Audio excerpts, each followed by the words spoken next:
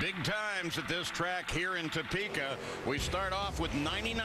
One of my favorite drivers, Gary and here's a big reason. He crashed Friday night, brought out a backup car, crashed again on Saturday. They rebuilt the car from Friday night and made Sunday's eliminations and went to the semifinals. That was an amazing performance. Then in 2006, this was history.